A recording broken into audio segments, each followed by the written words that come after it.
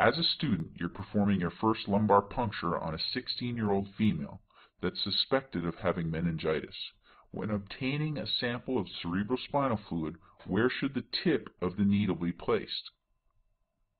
Hopefully, everybody got this correct because you want to put this into the arachnoid mater or just deep to the arachnoid mater in the subarachnoid space where you'll withdraw the spinal fluid for uh, analysis. This video will demonstrate safe and successful methods of performing lumbar puncture. Lumbar puncture is indicated for both diagnostic and therapeutic purposes. Also, the administration of spinal and epidural anesthesia involves the use, essentially, of this same technique.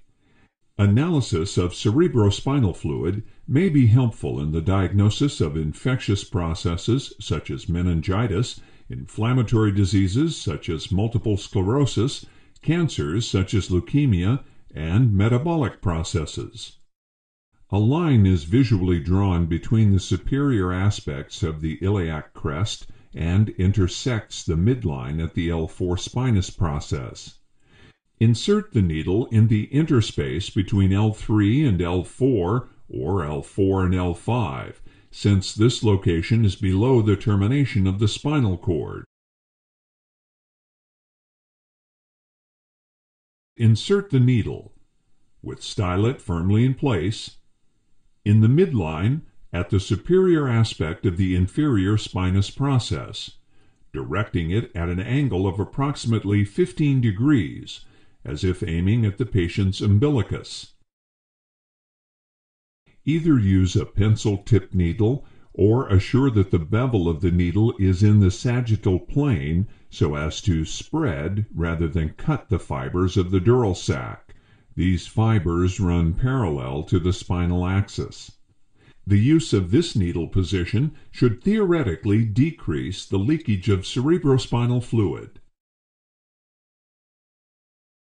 If properly positioned, the needle should pass through the skin, the subcutaneous tissue, the supraspinous ligament, the interspinous ligament between the spinous processes, the ligamentum flavum, the epidural space, including the internal vertebral venous plexus, the dura, the arachnoid, into the subarachnoid space, and between the nerve roots of the cauda equina.